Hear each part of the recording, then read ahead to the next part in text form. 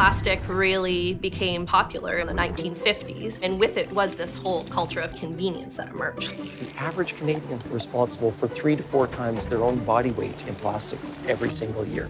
The way we produce and consume and manage plastics is creating challenges for our oceans and for our environment. There's not a constitutional right to a clean environment in Canada.